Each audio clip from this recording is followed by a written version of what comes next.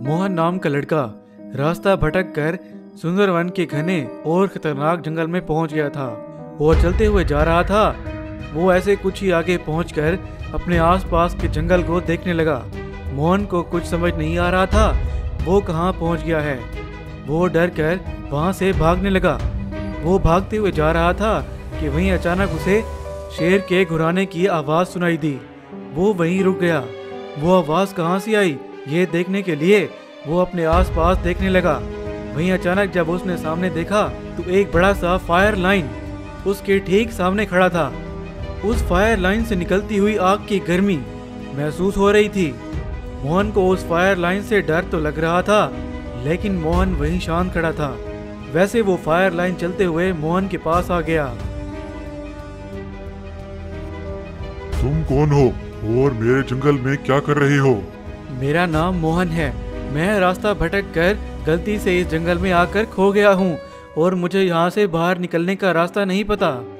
अच्छा तो ये बात है। मैं तुम्हारी मदद कर सकता हूँ जंगल से बाहर निकलने में। लेकिन उससे पहले तुम्हें मेरा एक काम करना पड़ेगा। बताओ मुझे क्या करना होगा? इस जंगल में एक जादुई क्रिस्टल छुपा हुआ है और वो क्रिस्टल मुझसे चुराया गया है और वो क्रिस्टल मुझे वापस चाहिए। तुम मेरा जादुई क्रिस्टल ढूंढो और मेरे पास वापस लाओ और बदले में मैं तुम्हें जंगल से बाहर जाने का रास्ता दिखाऊँगा। ठीक है मैं ये करूँगा। और हाँ जादुई क्रिस्टल बहुत ही शक्तिशाली है। वो क्रिस्टल किसी गलत हाथ में पड़ गया तो बहुत ही खतरनाक हो सकता है। मोहन उस जादुई क्रिस्टल को ढूँढने के लिए निकल पड़ता है। मोहन जंगल में उस क्रिस्टल को ढूंढते ढूंढते बहुत आगे निकल आता है। वहीं वो सामने देखता है और उसकी नज़र दूर एक झरने पर पड़ती है और मोहन उस झरने की तरफ़ चला जाता है। मोहन उस झरने के पास पहुँच जाता है। वहीं वो देखता है कि उस झरने के पीछे तो एक गुफा है। इस झरने के पीछे तो एक गुफा है।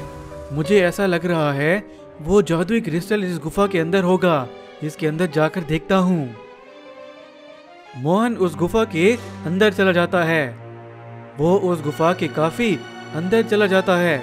वहीं उसे दूर से कुछ चमकता हुआ दिखाई देता है। वो उस चमकती हुई चीज़ की तरफ़ जाने लगता है। मोहन जब वहाँ पहुँचता है तो वो वहीं जादुई क्रिस्टल होता है, जिसको लेने का फायर लाइन ने उसे कहा था। मोहन उस जादुई क्रिस्टल को उठा लेता है। वहीं अचानक मोहन को पीछे से किसी के कदमों की आवाज़ आती है। मोहन पीछे मुड़कर देखता है तो तीन शिकारी उसकी तरफ़ आ रहे होते हैं। ये लड़के, वो क्रिस्टल हमें दे दो। नहीं, मैं नहीं दूँगा ये क्रिस्टल। ये क्रिस्टल तो फायर लाइन का है। हमें इसकी परवाह नहीं, ये क्रिस्टल जिसका भी है, लेकिन ये हमें चाहिए, और इसे पाने के लिए हम कुछ भी कर सकते हैं। वो शिकारी मोहन की तरफ़ आने लगते हैं। मोहन बहुत डर जाता है और वहीं से भागने की कोशिश करता है। वहाँ जंगल में वो फायर लाइन मोहन के लौटने का इंतज़ार कर रहा था। वहीं अचानक उसे एक आवाज़ सुनाई देती है और भागते हुए वहाँ जाता है। वो देखता है, कुछ शिकारी मोहन के पीछे भागते हुए आ रहे थे। मोहन वहाँ फायर लाइन के पास आ जाता है।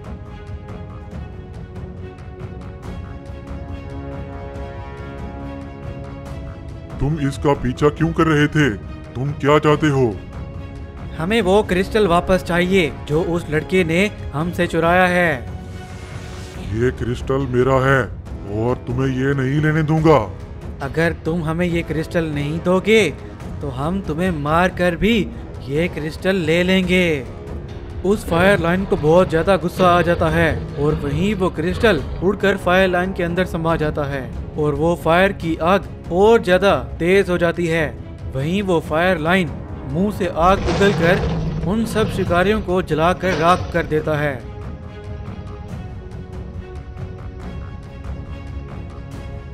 Magical golden well underground joint golden fish Sundarban गाँव के ज़्यादातर गाँव वाले मछुआरे थे। वो रोज सुबह सुबह गाँव के पास वाले समंदर पर जाते और मछलियाँ पकड़ते। उन सब में रंगेश नाम का एक मछुआरा भी था। बाकी सब गाँव वाले तो बड़ी बड़ी और अच्छी मछलियाँ पकड़ लेते। लेकिन रंगेश के जाल में हमेशा छोटी मछलियाँ ही फंसती थीं। इससे रंगेश बहुत दुखी होता। बाकी सबके जाल में तो सिर्फ़ बड़ी बड़ी मछलियाँ ही फंसती हैं। मेरे ही जाल में छोटी मछलियाँ क्यों फंसती हैं? और कभी कभी तो कोई मछली भी जाल में नहीं फंसती। ऐसा अगर चलता रहा तो मैं तो कोई पैसे भी नहीं कमा पाऊँगा। एक दिन रंगेश समुद्र पर मछलियाँ पकड़ने के लिए जा रहा था तो वहीं कुछ गाँव वाले बड़ी बड़ी मछलियाँ पकड़कर गाँव वापस आ रहे थे। आज तो मज़ा ही आ गया। इतनी सुबह सुबह बड़ी बड़ी मछलियाँ हाथ लगी हैं, इन्हें मार्केट में बेच आते हैं। फिर एक और जाल डालेंगे, फिर और मछलियाँ पकड़ेंगे। उन सब गाँव वालों को देखकर रंगेश बहुत जल रहा था और बहुत गुस्से में था। मुझे बड़ी और अच्छी मछलियाँ नहीं मिल रही तो क्या हुआ? लेकिन इन सबको तो मिल रही हैं। अब मैं इनका फ़ायदा उठाऊँगा और बहुत पैसे कमाऊँगा। अब ये देखें, मैं इनके साथ क्या करता हूँ। वहीं गाँव के पास वाले समंदर के अंदर, गहराई में तीन बहुत ही खतरनाक समुद्री राक्षस रहते थे। एक दिन वो कुछ बात कर रहे थे। इंसान यहाँ की बड़ी मछलियाँ पकड़ते जा रहे हैं। अगर वो ऐसा ही करते रहे तो जल्द ही यहाँ की सारी मछलियाँ खत्म हो जाएँगी। हमें इन इंसानों का कुछ करना पड़ेगा। हाँ। तुम सही कह रहे हो, और मैं भी कुछ दिनों से यही देख रहा हूँ। अगर वो इंसान ऐसा करते रहे तो हमारे खाने के लिए कुछ भी नहीं बचेगा। इंसानों से बदला लेने के लिए हमें कोई प्लान बनाना पड़ेगा। हम उनसे बदला कैसे लेंगे? हम तो पानी से बाहर ज़िंदा नहीं रह सकते। मेरे पास एक प्लान है। उससे हम और भी बड़े बड़े शिकार पकड़ पाएँगे, और उन इंसानों से भी बदला ले पाएँगे। अब सुनो मेरा प्लान वैसे वो राक्षस, उन्हें अपना प्लान बताता है। बाद में वो राक्षस अपनी शक्ति इस्तेमाल करके एक सोने का कुआँ और एक बड़ी सोने के रंग की मछली प्रकट करते हैं। हम खुद तो पानी से बाहर नहीं जा सकते लेकिन हम इंसानों को तो पानी के अंदर ला सकते हैं। जो भी इंसान या जानवर इस सोने के कुएँ को देखकर इसके पास आएगा और फिर हमारे पास समंदर में ले आएगी। वो राक्षस उस सोने के कुएँ और उस मछली को वहाँ से गायब करके वहीं समंदर के पास एक जगह पर प्रकट करते हैं। वो कुआँ ऊपर ज़मीन पर होता है और मछली उस कुएँ के ठीक नीचे पानी में। उस सोने के कुएँ को देखकर गाँव वाले उसके पास आने लगे। जैसे ही वो उसके पास पहुँचते तो मछली उन्हें कुएँ के अंदर खींच लेती। और वो मछली गाँव वालों को उन समुद्री राक्षसों के पास ले जाती। जैसा हमने सोचा था, वैसा ही हो रहा है। हमारा प्लान काम कर रहा है। ऐसे कुछ ही दिनों में हम पास के सारे गाँव वालों को कैद कर लेंगे। एक दिन कुछ गाँव वाले उस कुएँ के पास गए तो उन्हें उस मछली ने कुएँ के अंदर खींच लिया। वहीं दूर से रंगेश भी ये सब देख रहा होता है। अरे ये कैसे हो रहा है? जो भी इस कुएँ के पास जाता है, ये कुआँ उसे अपने अंदर खींच लेता है। हम्म इसका पता लगाना पड़ेगा। रंगेश अपने दोस्त आविष्कारक मिश्रा के पास जाकर उसे सारी बात बताता है। मेरे पास एक आइडिया है। हम उस कुएँ में एक ड्रोन भेज देंगे। उस कुएँ के अंदर जो भी होगा, हमें उसका पता चल जाएगा। बाद में वो एक ड्रोन वहाँ ले गए और दूर से खड़े होके उसे उड़ाकर कुएँ के अंदर भेज दिया। वहीं ड्रोन की वीडियो से उन्हें उस बड़ी सोने की मछली का पता चल गया। अरे, ये तो एकदम बहुत बड़ी सोने की मछली है।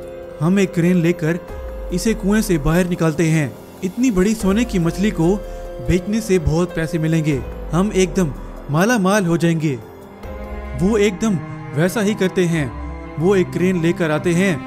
वो उस कुएँ के अंदर से उस बड़ी सोने की मछली को बाहर निकाल लेते हैं। और उसे बेचकर वो एक बहुत ही सुंदर घर खरीदता है और अपना एक व्यापार भी शुरू करता है।